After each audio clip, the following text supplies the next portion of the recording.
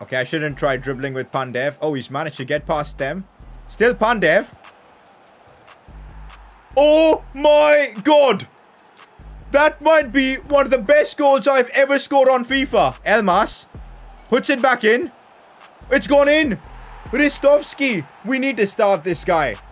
The journey, the grind with North Macedonia continues as we try and take the worst team in this competition to a Euros win. Last episode, we wrapped up the group stages and not too bad, guys. Six points out of the three games um, level with Netherlands. And of course, that puts us in the round of 16. And we've actually gotten a pretty favourable draw against Wales. I'm definitely fancying my chances here. Some super exciting games as well in the tournament. England, France probably being the highlight. Germany, Croatia. I'm ready for the round of 16. In today's video, we're going to wrap up the entire tournament. And let's just see how far we go with North Macedonia. It could last just maybe one game or it could go all the way. So, yep, let's see. Of course, we're to stick with the formation that's been so effective for us. I've got to say, my favorite player so far is this Bejtulai guy. He is insane. I think we should move him to, like, the left side because he's left-footed. Apart from that, Enis Bardhi's insane. And I don't think we can forget Goran Pandev. He might have just scored in the last episode one of the best goals I've scored on this FIFA just insane, man. Like, the goals we saw from Goran Pandev in that last episode, also from Trikowski, it's crazy. Everything's clicking for us with this team. Of course, against Netherlands, we got absolutely clapped, but that's expected. Against Wales, though, I'm definitely fancying our chances. If you guys are enjoying this mini-series, this is going to be the last episode. So if you guys have enjoyed this journey with North Macedonia, just, you know, putting up some different content for you guys to watch, I'd really appreciate if you could drop a like in the video, subscribe as well if you are new around here, and also Saturday, Arsenal career mode returns and it's going to be bigger than ever. Hopefully you guys are excited for that. For now, let's complete our journey with North Macedonia. Okay, we're up against Wales and they're not starting Gareth Bale. They're starting David Brooks instead. You know what, that's something I do love to hear. Gareth Bale's having a great tournament. Dan James starts, they've got Ramsey, but how on earth are they not starting Gareth Bale for a game like this?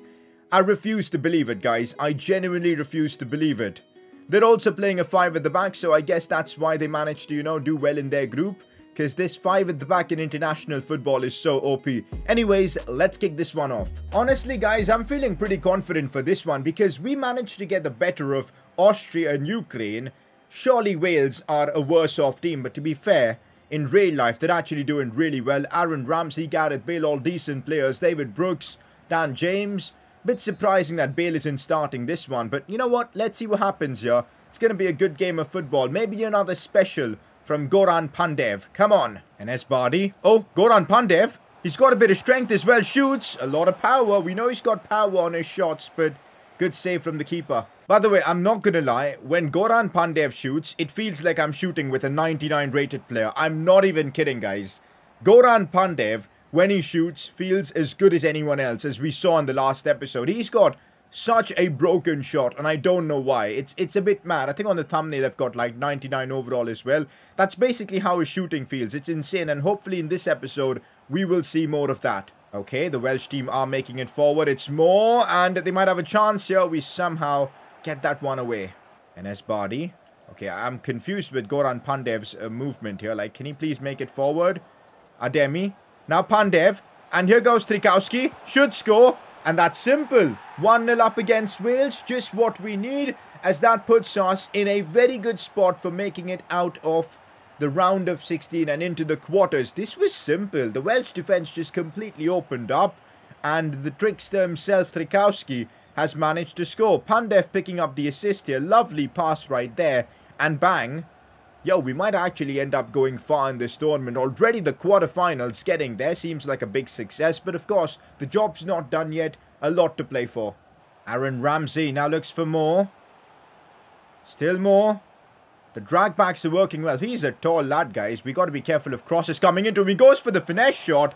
My keeper wasn't looking to dive or anything, so well, if that was on target, we would have probably seen the equaliser from the Welsh national team. So, good thing it goes wide. Here goes Alioski. By the way, this Alioski is, is pretty good, guys, honestly. Um, now Pandev looks for Enis Bardhi. Should be a goal. Off the defender and in. Yo, North Macedonia are on some... I don't even know what to say because They're crazy. How are we doing this? I've got no idea. Maybe it's because it's Welsh, uh, Welsh, the Welsh national team, and they're probably the worst team we've faced in this tournament so far. No Gareth Bale for them as well, so yeah, I'm super confused. Oh, that was such a lucky goal. The deflection literally nutmegged the keeper. Have a look at this, guys. Enis Bardhi. That was probably going in regardless, but... Oh my god, the deflection literally nutmegged the keeper. It's go the goal's going to be given for Enis Bardhi. We're 2-0 up. This is job done, honestly. You know what? There's no point playing this game because I think the job's done. We're just going to jump to result and see this one out. Remind me to never do this again. Remind me to never do this again. 2 up, cruising, and it ends up being 4-3 after going to extra time. I'm, oh my god. Wow. Just wow. Um, Gareth Bale getting one for Wales, and yeah, I think Bale brought on, and that's when Wales started playing well. What a surprise. Okay, I hate my life. This is where it all goes to complete shit, as they say. We're up against Italy, probably the favourites for this year's Euros with the way they've played. Russia, Belgium, Slovakia, Croatia, England, Spain. England managed to knock out France. What on earth is that? Croatia knocked out Germany. Some crazy results. We're up against probably the favourites for the tournament. It could all be over now, ladies and gentlemen. It could all be over as we're up against Italy. Ah, I'm not looking forward to this. Who are the players performing well for Italy? Insigne with three. Interesting, interesting, interesting. They've got Immobile with a couple as well. Assist-wise, they've got Marco Verratti. It's going to be a tough one. I'm playing some incredible FIFA right now with North Macedonia. The five at the back is really gelling with my style of play, but against an Italian side that good, I don't know if that's enough, guys. Look at their backline. It's crazy good with Chiellini and Bonucci, the experienced Donnarumma. Their midfield is amazing, their attack is great.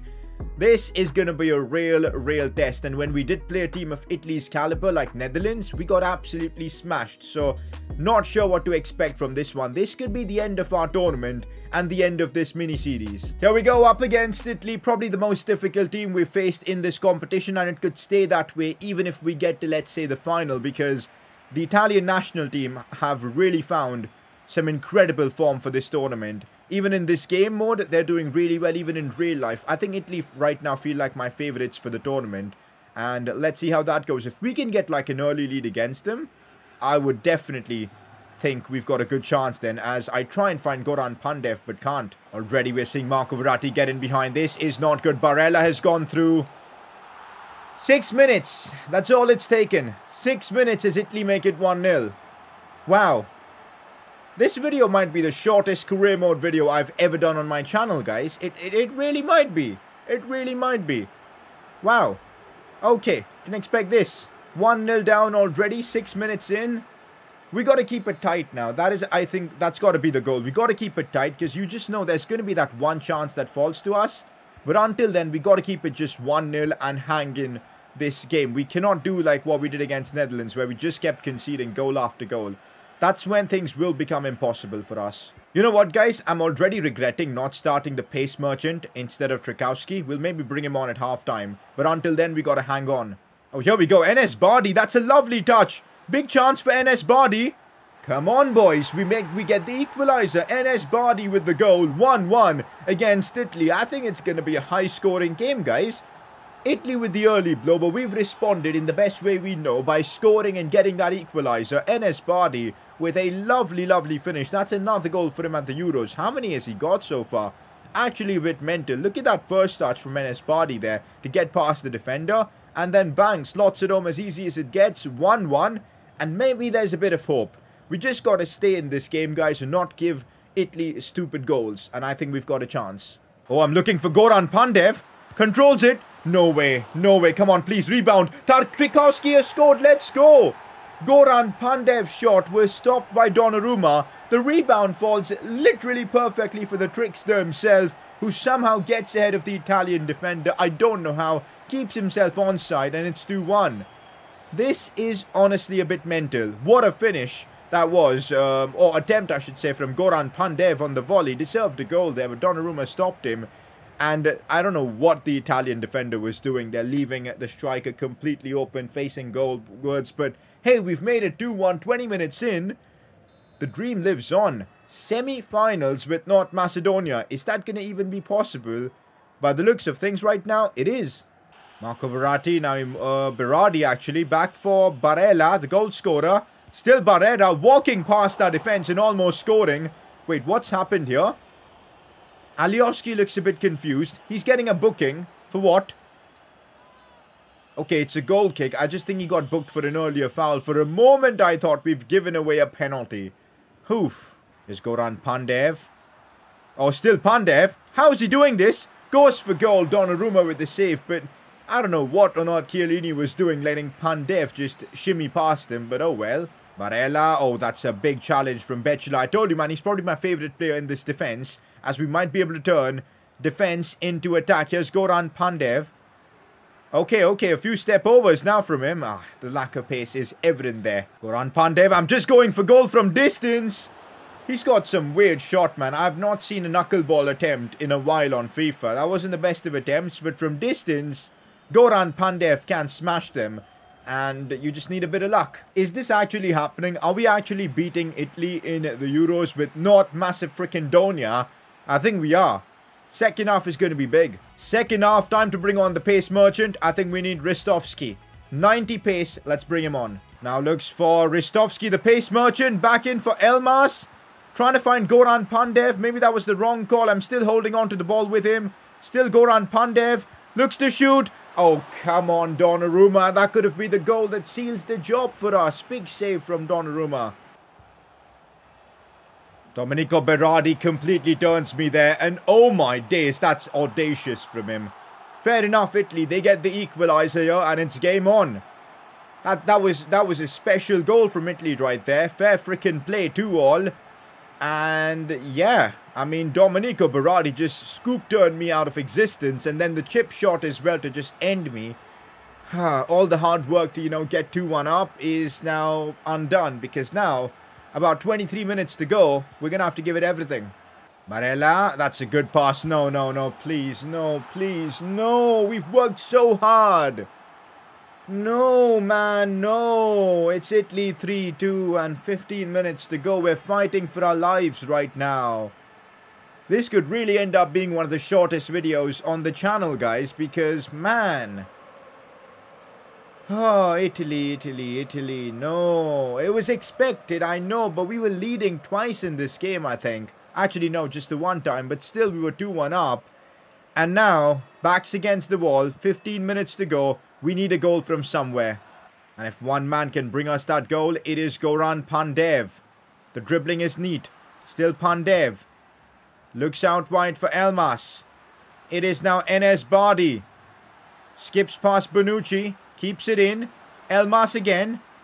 We're moving the ball round well. Oh, come on. Marco Verratti just robs me off the ball there. Seven minutes to go. Time is against us. And honestly, I'm losing a bit of hope.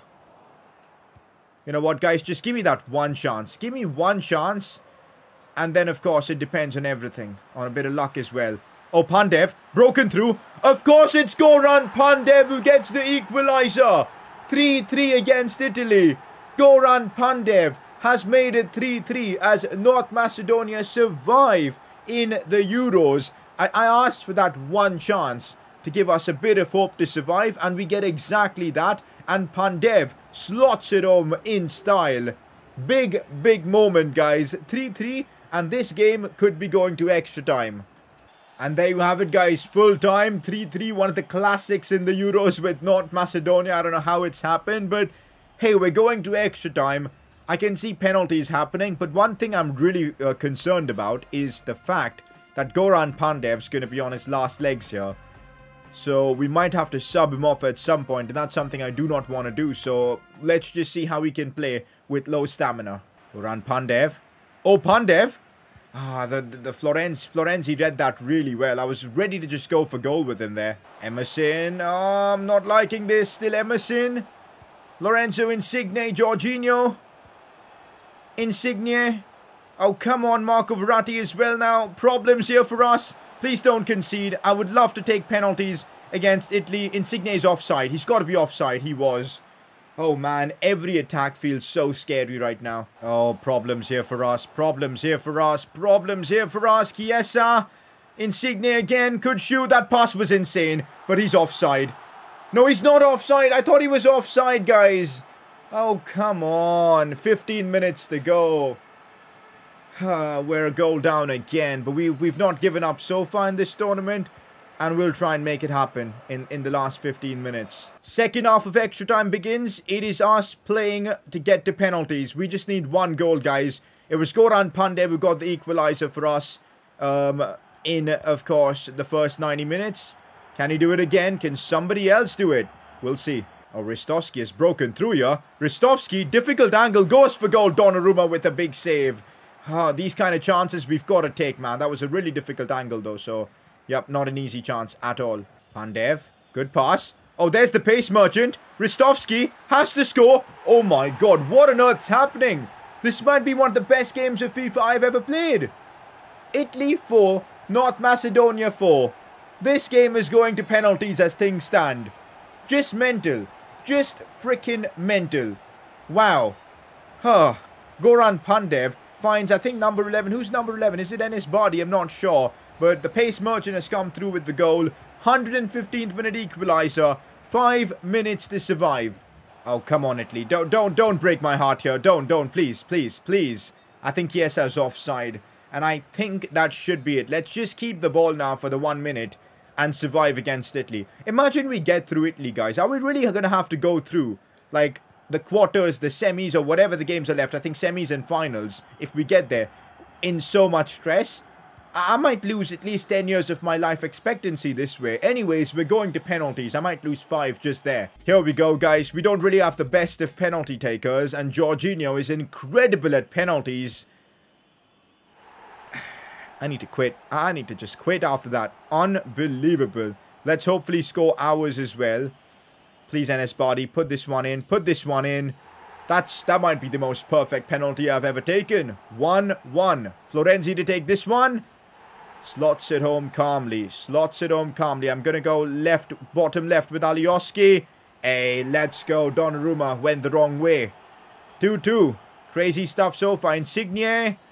I go the wrong way. I go the wrong freaking way. Come on, Pandev.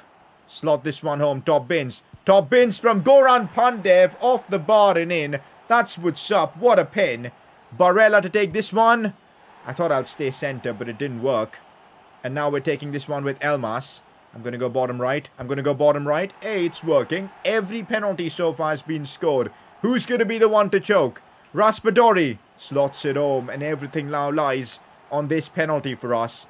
July. I'm going to go left, guys. I'm going to go left. I'm going to go left. And oh my god, I want to cry. No! No, man, no!